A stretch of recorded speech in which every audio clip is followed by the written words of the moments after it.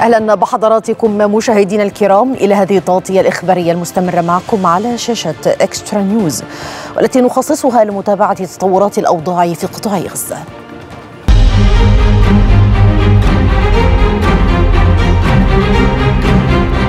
حرصت جدا مش أنا بس أنا وكل المصريين على إن إحنا نخفف ما أمكن على إشقائنا في قطاع غزة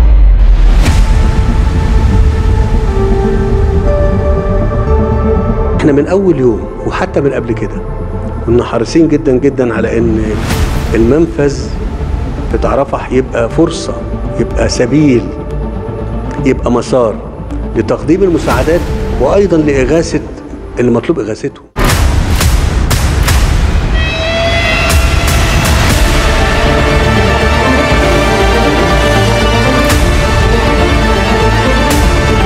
أكد إن إحنا مستمرين وهنستمر في الدعم والمساندة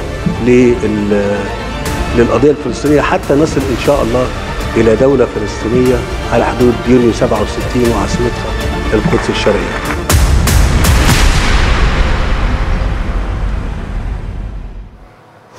موقف واضح وحاسم اتخذته مصر منذ اللحظة الأولى لاندلاع العدوان الإسرائيلي على قطاع غزة. معلنة رفضها القاطع للعقاب الجماعي والإبادة الجماعية التي تمارسها قوات الاحتلال الإسرائيلي في غزة. المزيد في سياق هذا التقرير المتابع.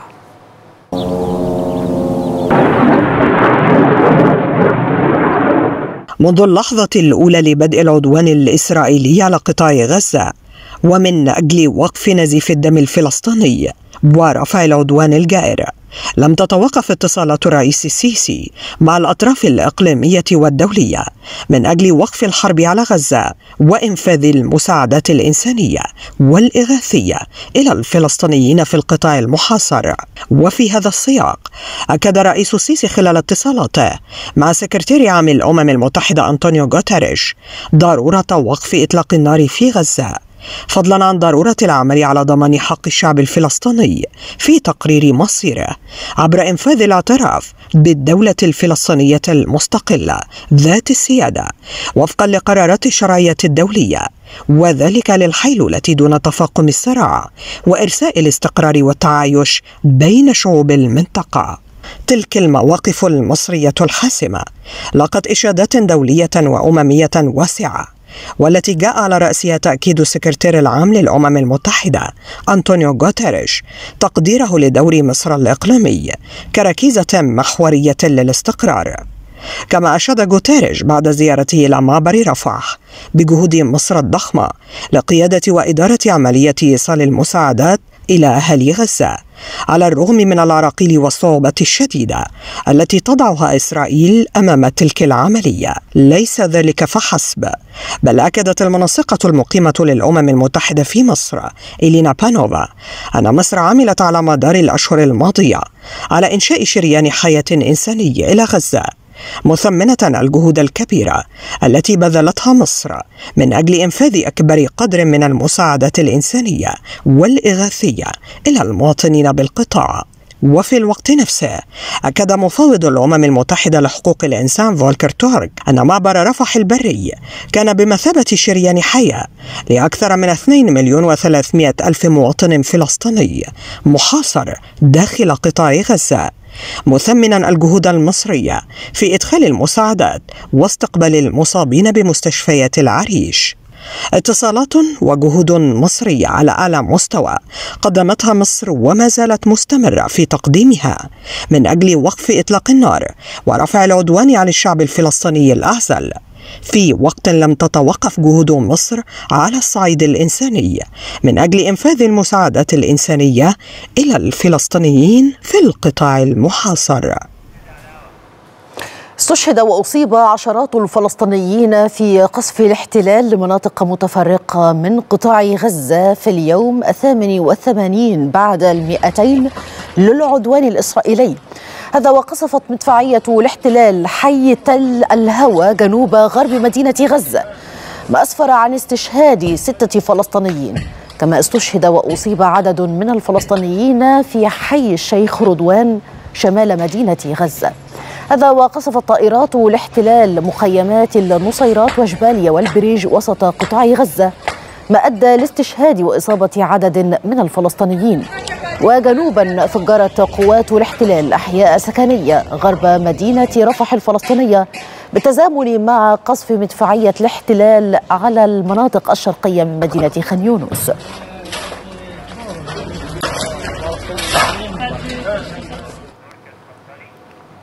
وصفت وكالة الأمم المتحدة لغوث وتشغيل اللاجئين الفلسطينيين أونروا الأوضاع في غزة بالكارثية لافتة إلى أن العائلات بالقطاع فقدت كل شيء وأن الأوضاع تتدهور يوميا وسط قلة الغذاء والخيام ما يعرض حياة الضعفاء للخطر المزيد في سياق هذا التقرير نتابع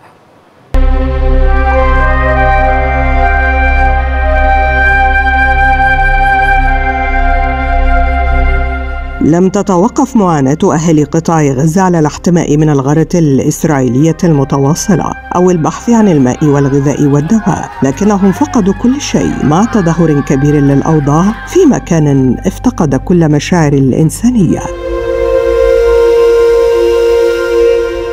وكالة الأمم المتحدة لغوث وتشغيل اللاجئين الفلسطينيين أونروا وصفت الأوضاع في غزة بالكارثية لافتة إلى أن عائلات غزة فقدت كل شيء وأن الأوضاع تتدهور يوميا وسط قلة الغذاء والخيام ما يعرض حياة الضعفاء للخطر.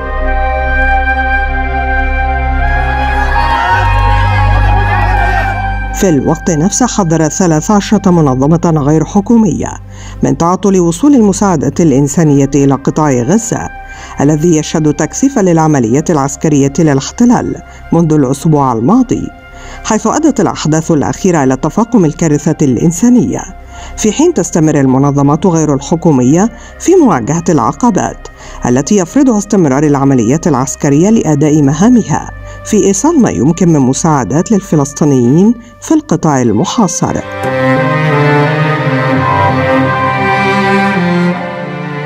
ومع تصاعد المخاطر ووصولها إلى حالة الكارثة وصل جميع المرافق الصحية في جنوب قطاع غزة إلى نقطة الانهيار بسبب قصف الاحتلال الإسرائيلي الذي يودي بحياة عدد كبير من الضحايا بحسب منظمات صحية دولية. وتؤكد المنظمات الصحية الدولية أن معظم الفلسطينيين نزحوا من منازلهم مرة عدة ويعيشون بكميات قليلة من الطعام ومياه الشرب في مناطق مكتظة.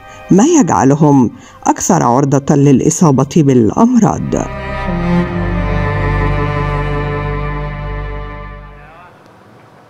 كشف تقرير جديد أصدرته منظمة أكسفام عن استخدام إسرائيل للمياه كسلاح حرب بشكل منهجي ضد أهالي قطاع غزة في استخفاف واحتقار لحياة الإنسان وللقانون الدولي المزيد والعرض التالي مع الزميل كريم الخولي أهلا بحضراتكم.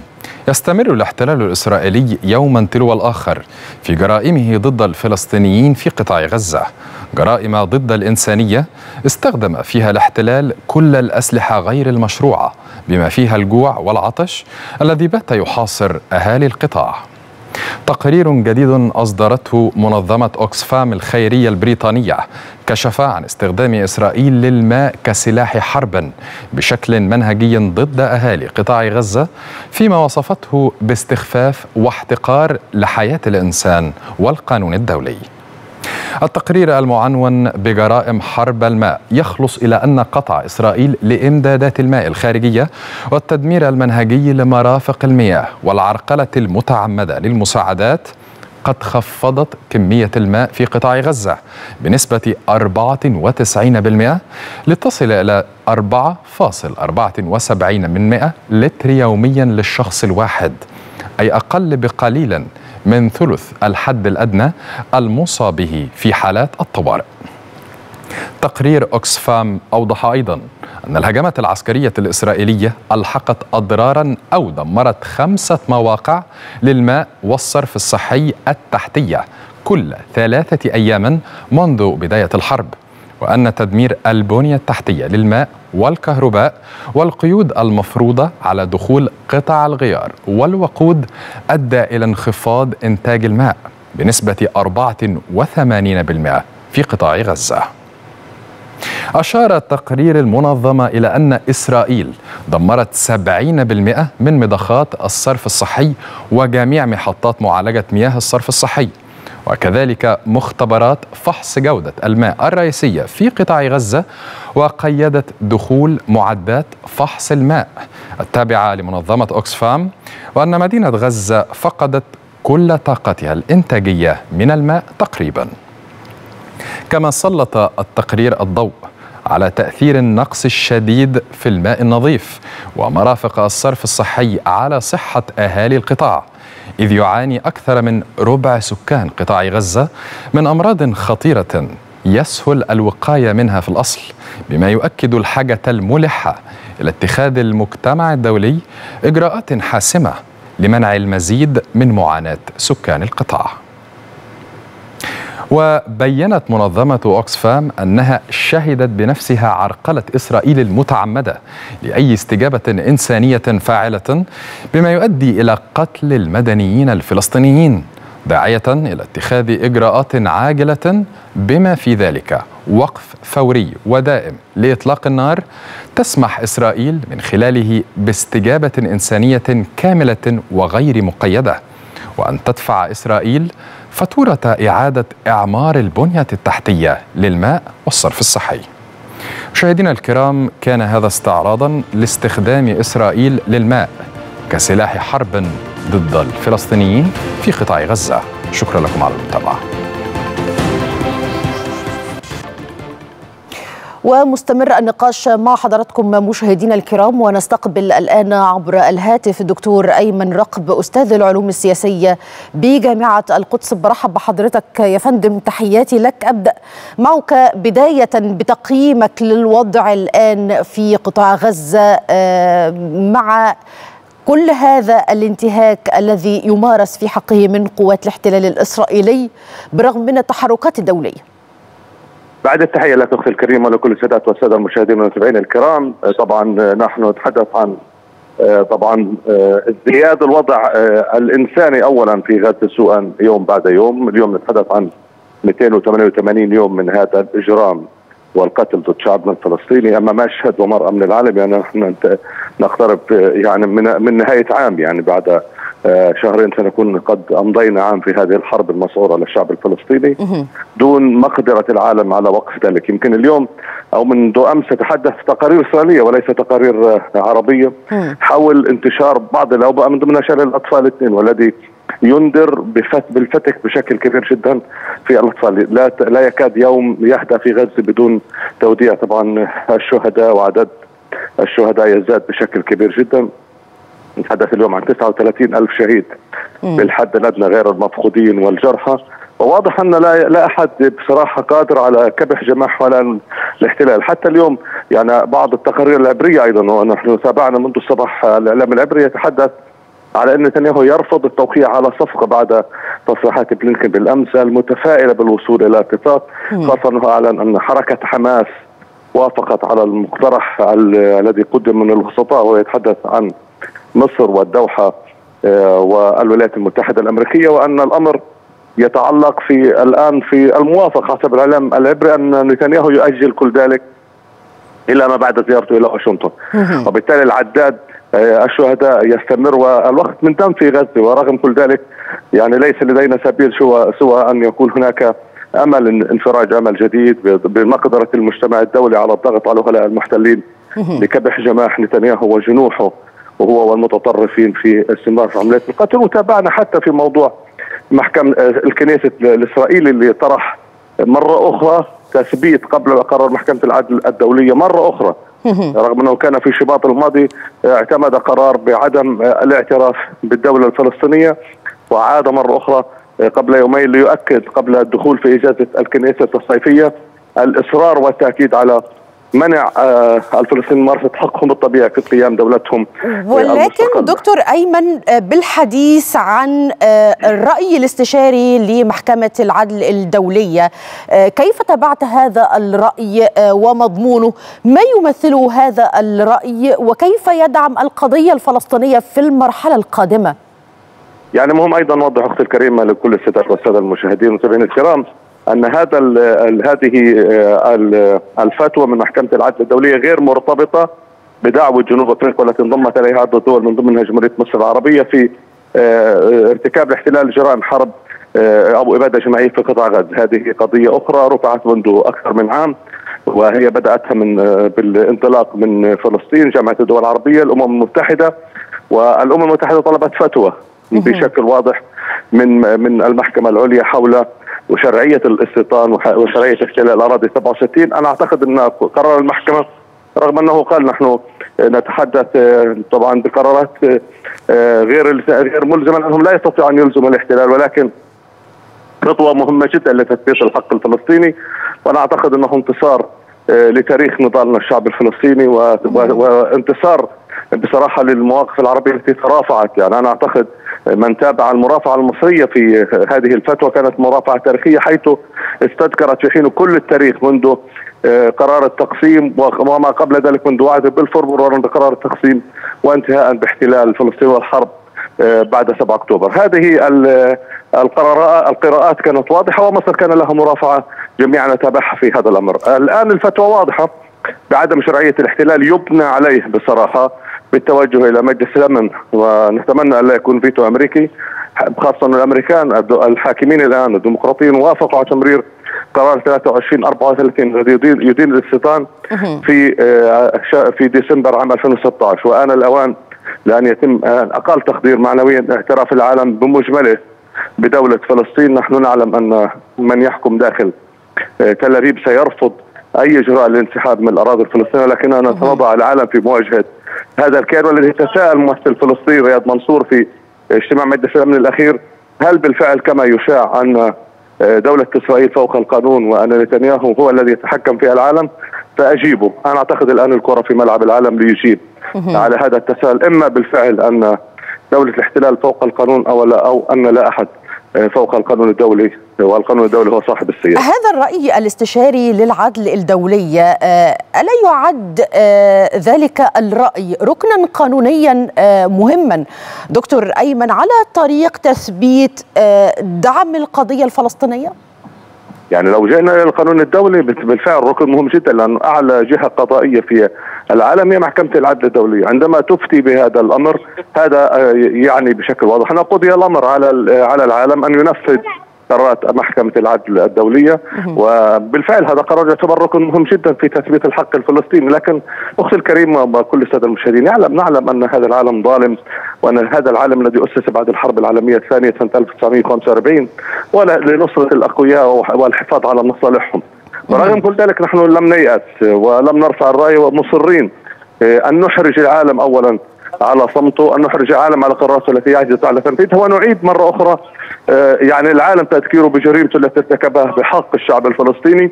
ولا زلنا متمسكين بأرضنا يعني اليوم بعد 76 عاما من احتلال فلسطين. هل سقط الفلسطينيين؟ هل تركوا قضيتهم؟ هل ترك العرب قضيتهم الأولى وهي قضية فلسطين؟ لا بالعكس. كلما استمر ذلك كلما كان هناك فرصة ومزيد من الإصرار الفلسطيني والعربي على ذلك وهنا خليني أسأل حضرتك وأخذ رأي حضرتك أيضا بالبيان الصادر عن الخارجية المصرية للرأي الاستشاري للعدل الدولية. إلى أي مدى أصاب هذا الرأي الاستشاري للعدل الدولية صميم الموقف المصري تجاه دعم القضية الفلسطينية؟ يعني أنا قلت إن مرافعة مصر في الفتوى لأنه طلب من مصر أن تقدم مرافعة في الفتوى فكانت المرافعة تاريخية بكل معنى الكلمة ونحن لا نجامل في هذا الأمر لأنه نحن تابعنا التفاصيل في هذا الأمر، مصر معنية بشكل أو بآخر بانهاء هذا الصراع بالوصول إلى أن ينال الشعب الفلسطيني حقه في قيام دولته، وهذا موقف مصر بصراحه ثابت ويؤكد كل مرة، حتى في الأشهر العشر من الحرب الموقف المصري كان موقف متقدم أقل تقدير سياسيا ثم بعد ذلك بشكل واضح وكبير اغاثيا وانسانيا لغزه وبالتالي اليوم أو بيان الخارجية المصري الذي صدر أمس كان مهما جدا وهو أكد ورحب بقرار المحكمة وطلب أن يتحول إلى قرارات تنفيذية في في إجراءات رسمية لإنهاء الاستيطان على الأراضي الفلسطينية والموقف المصري بصراحة منذ سنة يعني تاريخيا بصراحة لا أستطيع أن أقول فقط في هذه الحرب وموقف يقدر عاليا من كل المتابعين السياسيين بشكل عام والفلسطينيين بشكل خاص. ما الذي تنتظره إسرائيل من وجهة نظرك مقابل كل هذه الانتهاكات في القانون الإنساني والدولي أيضا؟ إذا تحدثنا بمنطق الرأي الاستشاري للعدل الدوليه يعني نحن الآن عندما نتحدث عن هذا الرأي الاستشاري وهو فتوى كما أشرنا وإذا أصدرت محكمة العدل الدولية أيضا خلال الأيام القادمة طبعا بيان بإدارة جرائم الاحتلال ضد الشعب الفلسطيني والإبادة الجماعية. للأسف الشديد لا أحد يستطيع أن يكبح جماح ولا إلا الولايات المتحدة الأمريكية. مطلوب من الولايات المتحدة الأمريكية التي تستعد للانتخابات ونحن نعلم معطيات وظروف الصراع داخل الولايات المتحدة الأمريكية بين الجمهوريين والديمقراطيين وأزمة إكمال بايدن المنافسة من سحاب وهذه الأمور يجب الا ندفع نحن ثمنها فلسطينيا ولكن أنا أعتقد حتى هذه اللحظة إذا روح الموقف الأمريكي كما هو فنحن لن نشهد شيء في المرحلة القادمة وسنشهد قرارات دولية تكبح في مجلس الأمن من ان تحول إلى قرارات من مجلس الأمن. وإذا لم يستند أي قرار من مجلس الأمن للفصل السابع الذي يجبر كل الأطراف باستخدام القوة إذا رفضوا ذلك فنحن للأسف سنجد صراع قد يستمر. عدة أشهر قادمة. أنا بشكر حضرتك. شكرا جزيلا. دكتور أيمن الرقب أستاذ العلوم السياسية بجامعة القدس. شكرا جزيلا لهذه المداخلة. بأجساد أنهكتها الهموم يبدأ سكان غزة رحلة يومية محفوفة بالمخاطر للبحث عن الطعام والشراب.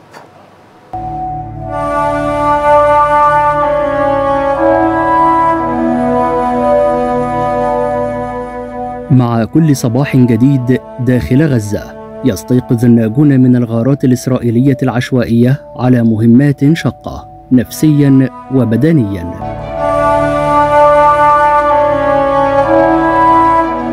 فمنذ اللحظات الأولى التي يفتح فيها المرء عيناه يجد نفسه في ظلام غزة بواقعها المرير الذي لا يحمل إشارة تلوح في الأفق. باجساد انتهكتها الهموم يبدأ سكان غزة من كبار وأطفال رحلة يومية محفوفة بالمخاطر للبحث عن الطعام والشراب. في الطرق الوعرة بين الحطام التي امتزجت بدماء الشهداء تحت صوت مدون لطائرات الاحتلال. في شمال غزة وتحديدا في بيت لاهيا اكتظ عشرات الفلسطينيين لساعات من أجل الحصول على القليل من الطعام في ظل تفاقم أزمة الجوع داخل القطاع المكلوم. إحنا بنيجي من الصبح تقريبا بنيجي على الساعة 10 الصبح بنيجي فانا عشان نستلم التكية اليوم عاملين عندنا مفتوح هنا هذه التكية صرنا نيجي نجي لها من الصبح عشان مع وجه المغرب نلحق لنا نأخذ صحن. إنه مش إنه يعني إحنا الابايات بنأكلش بنخلي أولادنا يأكلوا لأنه دوب أصلا الصحن يكفي أولادنا. فعشان هيك إحنا بنسيب أولادنا يأكلوا. طبعا هذا كله بعد المجاعه اللي بتصير عندنا في الشمال بتزداد يوم عن يوم. من أزمة طعام من أزمة مياه من ازمه من كل أنواع الأزمات اللي بنعاني منها من شمال غزة إلا إنه كمان بتزيد علينا ازمه أزمة اللي هي الجوع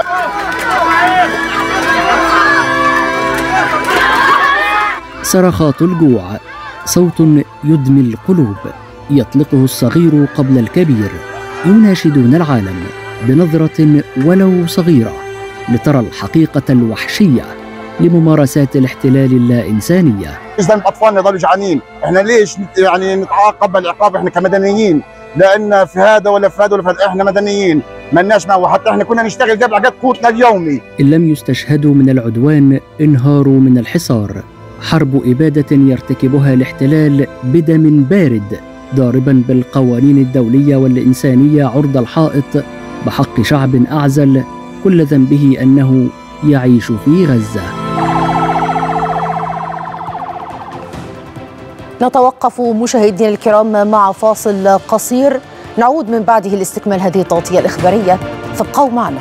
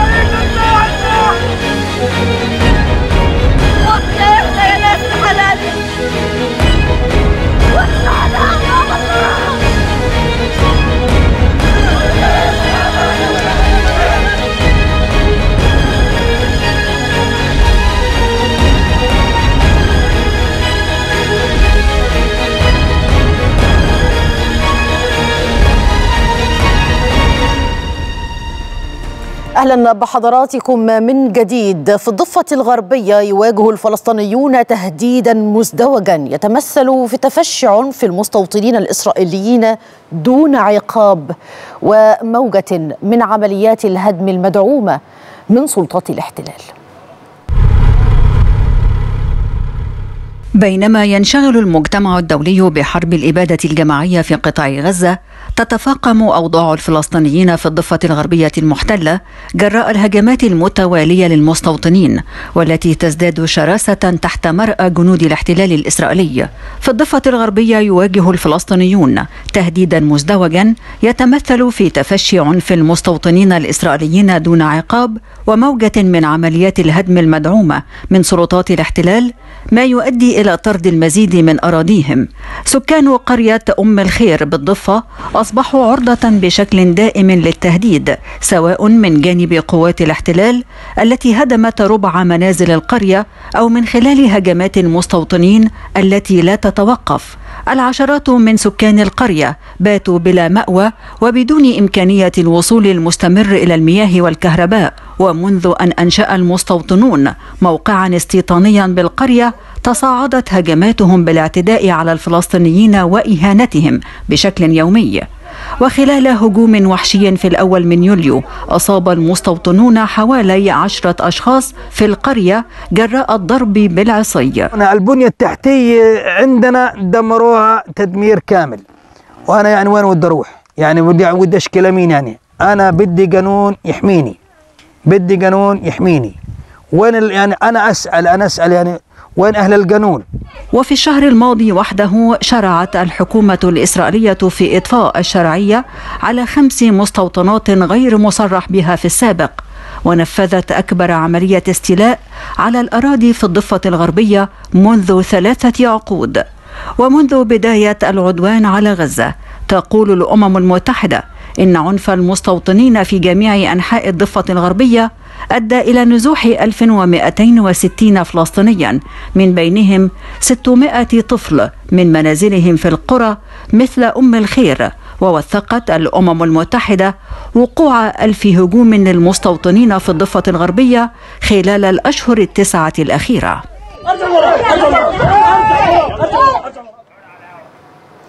وللمزيد من النقاش والتفاصيل بتنضم إلينا عبر سكايب من رام الله الدكتوره تمارا حداد الكاتبة والباحثة السياسية.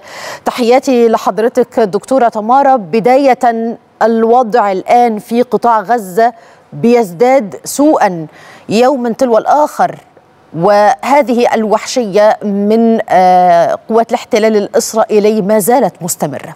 كيف تقيمين هذا الوضع الآن خاصة مع هذه التحركات الأخيرة سواء بدعم القضية الفلسطينية من دول عدة أو من خلال ما قالته العدل الدولية بالأمس. مساء الخير لكم تحياتي لكم ولقناتكم الكريمة. اولا استمرارية العدوان على أرض قطاع غزة. هذا يعني أن مخططات إسرائيل ما زالت هي نافذة وانها تترجم ميدانيا عملياتيا امنيا في أرض قطاع غزة لتحقيق أهدافها، هذا يعني اطاله فترة التفاوض، اطاله فترة الوقت، إطالة الوقت في أرض قطاع غزة تحديدا فيما يتعلق العمليات العسكرية، الآن هم يريدون الدخول المرحلة الثالثة، ما زال حتى هذه اللحظة عملية الدخول هي صحيح هي تترجم ميدانيا على أرض قطاع غزة لكن لم يتم الإعلان عنها. المرحلة الثالثة تقر بحرب الاغتيالات بمعنى اغتيالات شخصيات لها علاقة بالمقاومة الفلسطينية تحديدا المقاومة المسلحة. بمعنى تحديدا الصف الأول أو الثاني أو الثالث الذي له علاقة باغتيال شخصيات تحديدا فيما يتمثل البنية العسكرية، هم يريدون تفكيك البنية العسكرية للمقاومة الفلسطينية وهذا ما يؤدي وجود مقاومين ما بين المدنيين الفلسطينيين حسب ما يشير إليه الواقع الإسرائيلي. هذا الأمر باستخدامهم. القنابل أو تعتبر الأدوات التي تقتل المدنيين هذا ما يؤدي الضحية الكبرى هم المدنيين الفلسطينيين. استمرارية تواليد المجازر وازديادها بشكل مكثف قبل عملية الوصول تحديدا فيما يتعلق نتنياهو قد يكون هناك وصوله إلى الولايات المتحدة الأمريكية لإلقاء الخطاب في الكونغرس الأمريكي وأيضا ملاقاته لرئيس الولايات المتحدة الأمريكية. بايدن لذلك خلال هذه الفترة لا أعتقد أن يكون هناك نوعا ما من ترسيخ أي نوع من الصفقات أو أن يكون هناك نوعا ما من الهدوء خلال هذه الفترة. تحديدا نتنياهو حتى هذه اللحظة لا يعطي أي نوع من الصلاحيات للوفد المفاوض بأن يسافر إلى قطر أو أن يكون متواجد في أي منطقة أخرى، فبالتالي نتنياهو معني باطاله الفترة التفاوض وهو يريد أن يحمل كمادة كمادة أو ورقة تفاوضية من أجل أن يقدمها لرئيس الولايات المتحدة الأمريكية وكأنه ما زال حتى هذه اللحظة هو ما زال يستمر في عملية كيف يمكن أن نتوقع هذه الورقة التي تتحدثين عنها دكتورة تمارا هذه الورقة للتفاوض على ماذا يتفاوض أو يريد أن يتفاوض نتنياهو؟ اولا نتنياهو معني بتحديد بتحقيق مكتسبات سياسيه تحديدا لنتنياهو قبل أي عملية تفاوض نتنياهو يعلم تماما أن هذه الصفقة إذا تم قبولها بشكلها الحالي هذا يعني انتصار لحركة حماس هذا ما يتذرع ما يشير إليه نتنياهو. هو يعلم تماما أن إبقاء ست أسابيع لحركة حماس دون عملية وجود الأعمال الأدائية قد يتم عملية إعادة بنائها في قطاع غزة أو إعادة المقاومين إلى المنطقة الشمالية، هذا لا يقبله نتنياهو، هناك نقاط خلافية ما زالت عالقة حتى هذه اللحظة. التفاصيل فيما يتعلق إعادة المسلحين المنطقة الشمالية، فيما يتعلق محور فيلادلفيا، فيما يتعلق من نتساريم، فبالتالي هو يحملها فقط من أجل التحديث مع بايدن حتى على مستوى بايدن، بايدن حتى هذه اللحظة على ما يبدو ان أن هناك مشاورات بين الديمقراطيون بازاحه بايدن والترشح لشخصيات أخرى، لكن بايدن لا يريد أن يكون حتى هذه اللحظة رسميا أنه مرشح للحزب الديمقراطي أو أن ينسحب حتى ملاقاة نتنياهو حتى لا يعطي جهه لنتنياهو أن انسحب قبيل ملاقاته، لذلك بايدن ما زال حتى هذه اللحظة لديه أمل أن يتم الضغط على نتنياهو لقبول هذه الصفقة، ونتنياهو غير معني هذه الصفقة أو اعطاء جائزة ترضيه لبايدن. تحديدا فيما يتعلق أن نتنياهو معني بمجيء ترامب أكثر من بايدن وأن عملية تحقيق هذه الصفقة هذا يعني اعطاء نقطة سياسية مكتسب سياسي قبل انسحاب بايدن من أي ترشح السياسي ربما هذا ما اتضح في اعتماد قرار عدم الاعتراف بالدولة الفلسطينية من خلال الكنيست دكتورة تمارا اولا إذا تحدثنا بكل واقع الكنيسة الإسرائيلي قام بإقرار قراره بعدم القبول بالدولة الفلسطينية كضربة استباقية لما تم إقراره أو خروج الرأي الاستشاري من محكمة العدل الدولية. محكمة العدل الدولية أخرجت رايا استشاريا وليس قرارا هو الرأي الاستشاري هو غير ملزم لإسرائيل.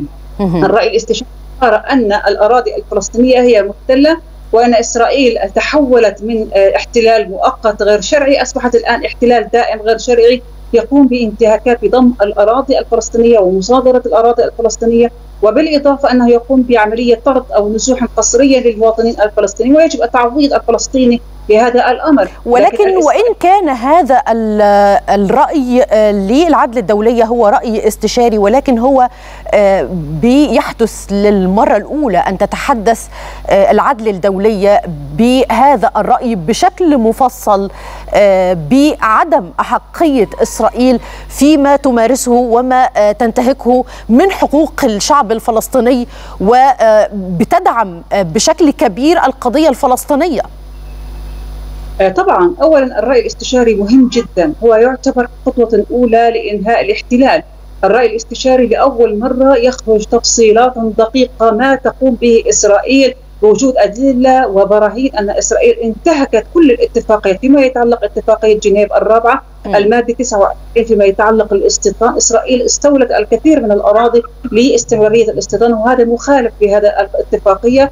أيضا خالفت إسرائيل اتفاقية التمييز العنصري بما يتعلق تعاملها مع مدنيين الفلسطينيين وقتلهم أو عملية اعتقالهم فيما يتعلق أيضا استمرار واقع بناء الجدار العازل الذي يفصل بين الواقع الإسرائيلي والفلسطيني. هذا يؤدي إلى أخذ عدد كبير من الأراضي الفلسطينية بشكل قسري. أيضا فيما يتعلق النزوح القسري هذا مخالف أيضا للقوانين الدولية. فبالتالي الرأي الاستشاري هو يعتبر كقرار تاريخي.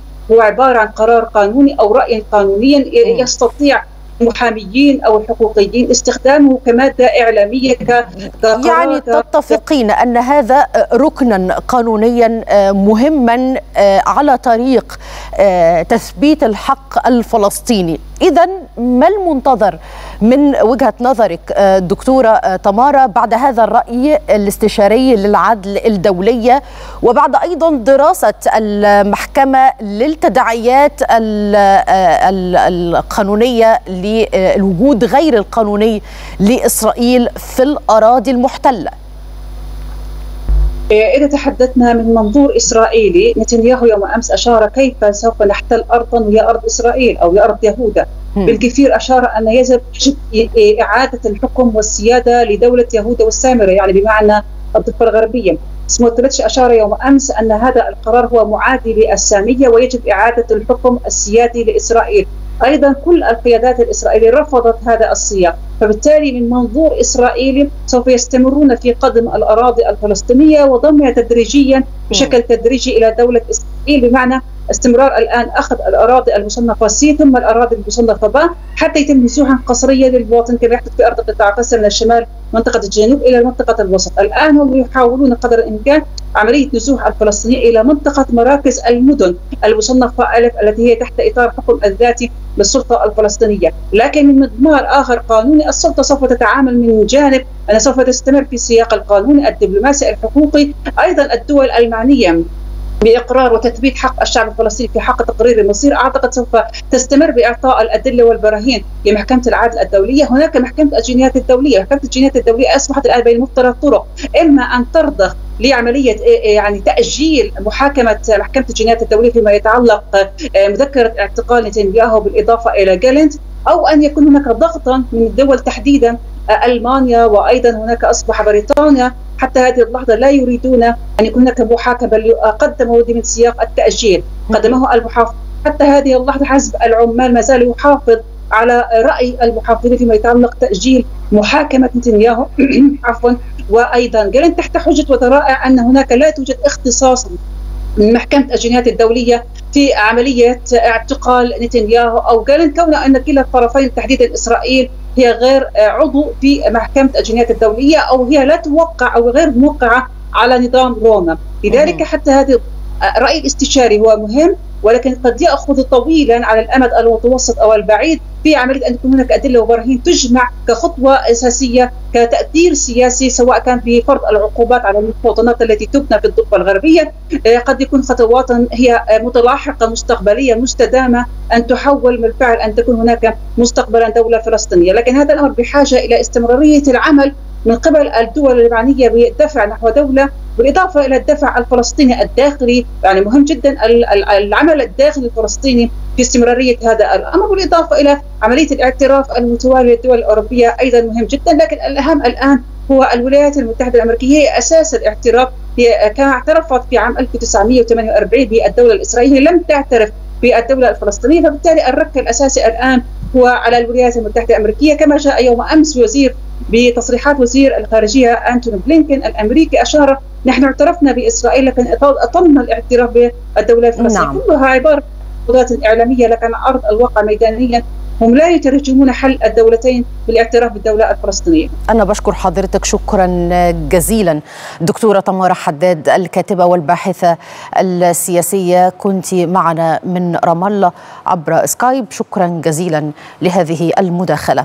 مسارات عديدة سياسية وإنسانية تتخذها مصر لدعم الشعب الفلسطيني وفي إطار أولوية وقف العدوان الإسرائيلي المستمر وتخفيف المعاناة الإنسانية عن سكان قطاع غزة. ما يعكس الدعم المصري المتواصل للشعب الفلسطيني. نتابع تلك المسارات في العرض التالي.